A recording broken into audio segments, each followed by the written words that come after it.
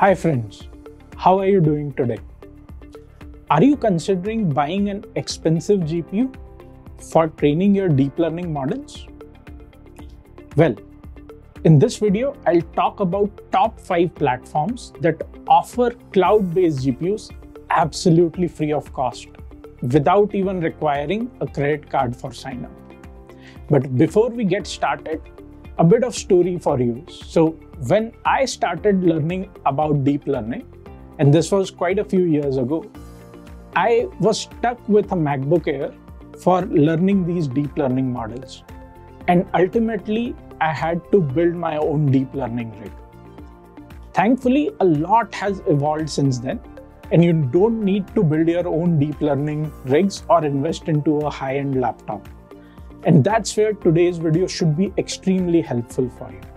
So we would talk about top five platforms which offer cloud-based GPUs.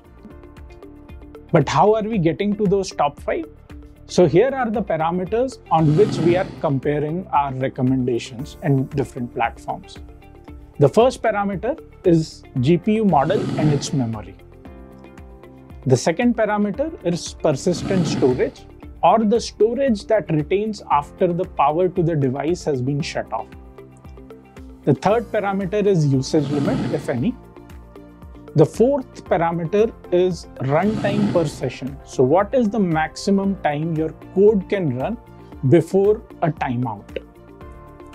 The fifth parameter is the background execution. So which allows your model to train without you needing to keep the code open. And finally, the option to keep your notebooks private. So as you can see, all of these parameters are keeping the end user in mind. So how easy would it be for you to sign up and start your journey here? So my first recommendation to you is Google Colaboratory, which is also popularly known as Colab. It is a product of Google Research and is quite popular among the data science community across the globe. The only prerequisite to using Colab is that you need to have a Google account. And if you don't have one, you may create it to get started. The free GPU model you get with Colab is subject to availability. Generally, you may get a Tesla K80 or even a Tesla T4 with GPU memory of up to 16 GBs. They also offer paid subscriptions called Colab Pro and Colab Pro Plus, with which you can get more high-end GPUs for training larger deep learning models. Talking about the pros of this platform, you get 15 GBs of data storage on Google Drive. You get longish runtime of 12 hours per session, and you have an option to keep your notebooks private. The only downside is Colab doesn't support background execution. So that was Google Colab. My second recommendation is Kaggle. And if you haven't used Kaggle so far in your data science journey, trust me, you soon will. It is home to 50,000 public datasets and 400,000 public notebooks and is nothing less than a gold mine for data scientists.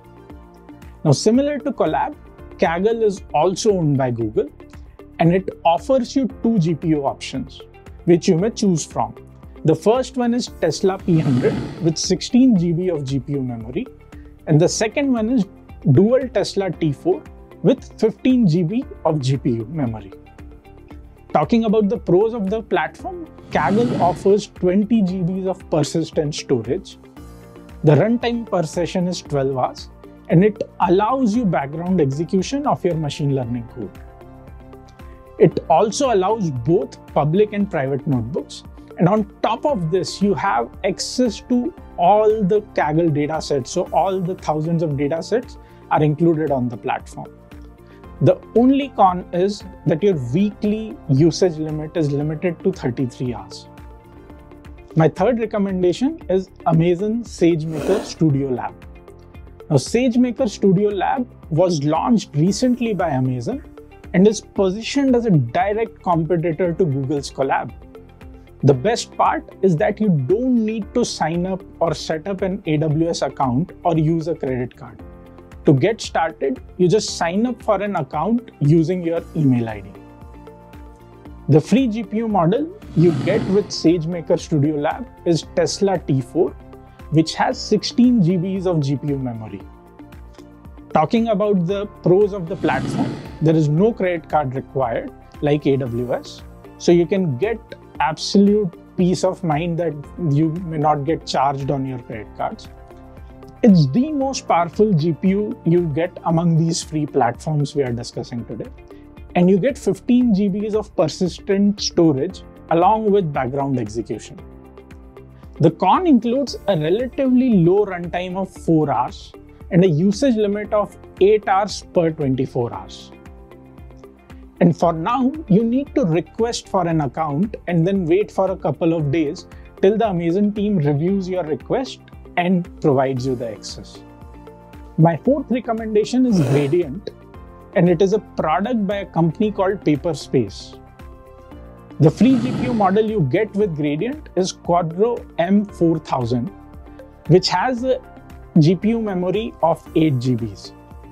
Talking about the pros, you get a long idle time of 6 hours. However, there are a lot more cons to this platform. You get a low GPU memory of 8 GB. You also get lesser persistent storage, which is 5 GB. And you don't have an option to keep your notebooks private on free tier.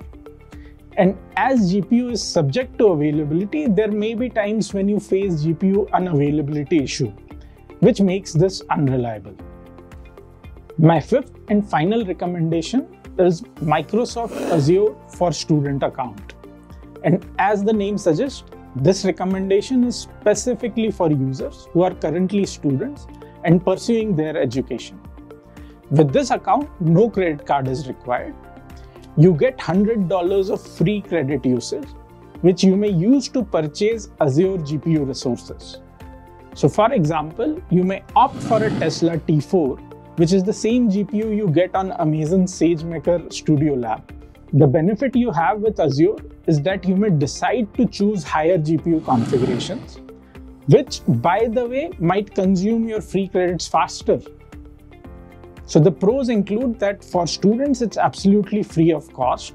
You get peace of mind. There is no credit card required.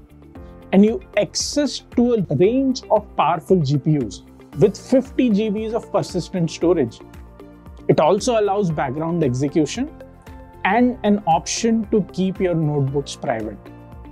The obvious cons is that you are limited by a $100 credit and you may get further credits if you keep your eyes on Azure promotions or some Twitter promotions which they run. However, you will be limited by whatever credits you get. Now to summarize, these are the five places to get a free GPU online for your deep learning work.